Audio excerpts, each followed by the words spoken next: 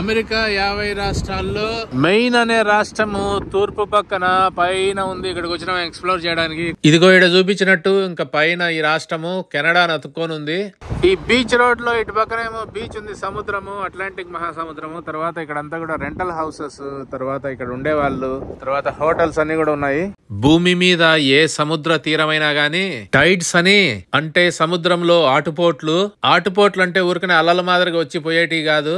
ప్రతిరోజు సముద్ర తీరాలమ్మడి రెండు సార్లు నీటి మట్టం పెరుగుతుంది మళ్ళా రెండు సార్లు నీటి మట్టం తగ్గుతుంది. ఎందుకంటే చంద్రుని సూర్యుని గురుత్వాకర్షణ శక్తి వల్ల తర్వాత భూమి తిరగడం వల్ల రెండు సార్లు పైకి రెండు సార్లు కిందికి పోతుంటాయి రోజుకి.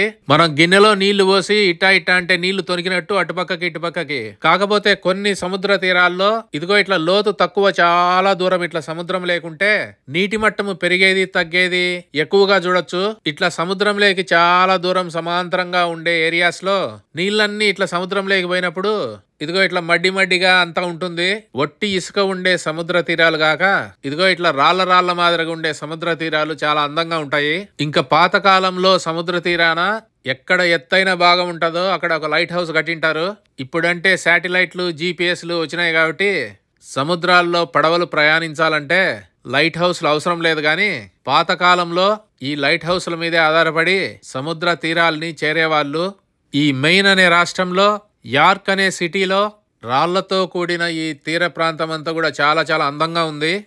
ఈ తీర ప్రాంతం అంతా కూడా రాళ్ళ రాళ్ళగా ఉంది. ఎందుకంటే మట్టి మశానము కరిగిపోయే రాళ్ళన్నీ కూడా నీటి కోతకి గురయ్యి కరిగిపోయినాయి. ఇంకా మిగిలిన రాళ్ళన్నీ కూడా గ్రానైట్ రాయి మాదిరిగా గట్టి రాళ్ళు అనమాట అంతేగాక ఈ రాష్ట్రం చాలా పైనుంది కాబట్టి నార్త్ పోల్కి దగ్గరలో సుమారుగా పదివేల సంవత్సరాల క్రితము ఇక్కడంతా ఐస్ ఏజ్ ఉండింది. అంటే ఐస్ అంతా ఫామ్ అయ్యి సుమారుగా ఒక మైల్ అంత ఎత్తు ఉండింది. ఆ పెద్ద ఐస్ కొండలన్నీ కూడా బుల్డోజర్ మాదిరిగా ఈ ప్రాంతాన్నంతా దున్నుకుంటా పోయినాయి. పైనుండే మెత్తటి పొరలన్నింటినీ కూడా ఈ పెద్ద ఐస్ గడ్డలు తోసుకుంటూ వెళ్ళిపోయినాయి. ఇంకా కింద మిగిలిన రాళ్ళన్నీ కూడా చాలా గట్టి రాళ్ళు అనమాట ఇగ్నియస్ రాక్ మెటమార్ఫిక్ రాక్ అంటారు. ఈ గట్టి రాళ్ళన్నీ కూడా మిలియన్స్ ఆఫ్ సంవత్సరాల క్రితము భూమి పొరల కింద ఉండే వేడికి ఒత్తిడికి ఏర్పడిన రాళ్ళు. ఇది తూర్పు భాగాన పైనుండే బీచ్ అయితే ఇదిగో ఈ వీడియోలో తూర్పు భాగాన కిందుండే ఫ్లోరిడా రాష్ట్రంలో ఉన్న బీచ్ చూపించినాను. ఈ వీడియో చూడండి.